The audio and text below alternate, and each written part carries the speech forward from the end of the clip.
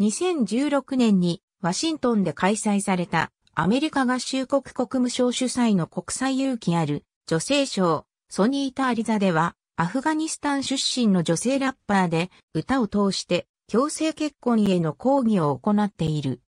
売られる花嫁で両親に売られて結婚させられる娘を歌い注目された。イランの映像作家のロクサレガイム・マガミは3年間彼女を取材しソニータを発表した。映画の中で彼女の両親は彼女を売る計画を立てていた。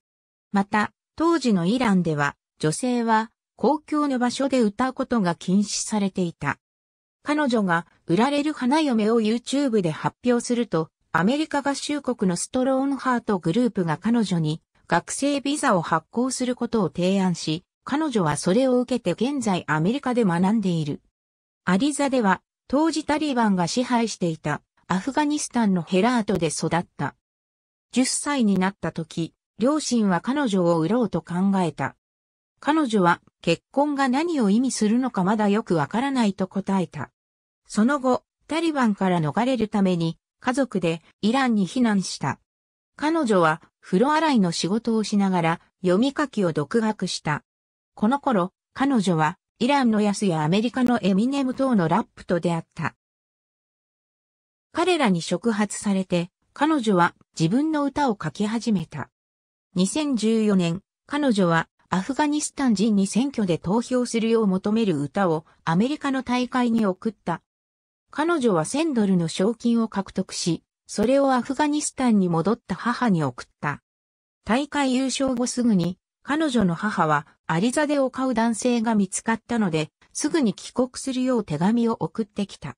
彼女はまだ16歳だった。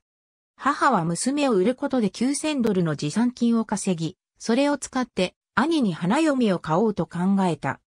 ロクサレガエムマガミ監督が母に2000ドルを送ることで、半年の猶予期間を得た彼女は、売られる花嫁を書き上げ、監督は PV を撮影し、国際的な反響を得た。PV はアフガニスタンの女性だけでなく、非営利のストローンハートグループの目に留まり、アメリカで学ぶよう提案することになった。